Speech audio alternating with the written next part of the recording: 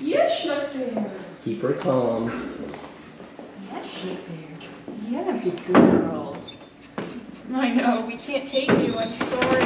The the tail has some new strength to it. It seems she's Okay. whapping it against the. Uh, You're such a good crib. snooker bear.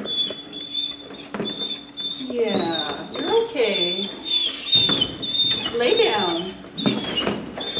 There you go. Good girl. So I got to see Moxie. She's doing great. She's she's whining a whole bunch, but she looks very like alert. She's with it. I saw her standing, so that's really good. And um, yeah, she just looks like such a good dog. We could take her home. But they're gonna keep her for at least until next week, and then hopefully then we can take her home. But the fact that she's like this on the day after her surgery and she's in a kennel and she's already this worked up, I can't imagine what she's gonna be like when she's home and how much it's how difficult it's gonna be to keep her calm.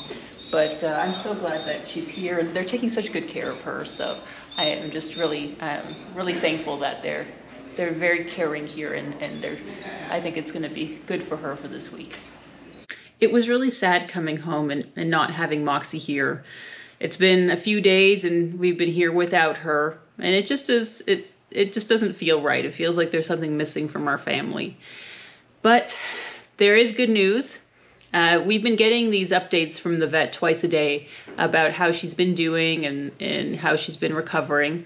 And they've been saying that she's been doing really great. She doesn't have any pain. Um, her surgery site is looking good and she's able to walk and pee and poop and all that good stuff. And so yesterday we got a message from the vet saying that, you know, we think that you can take her home.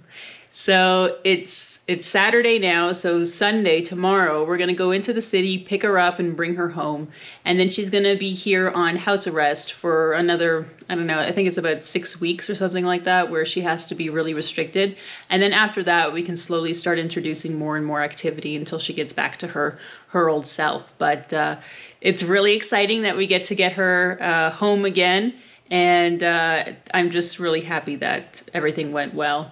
And soon enough, she will be jumping back up on the bike and we get to go on new adventures together.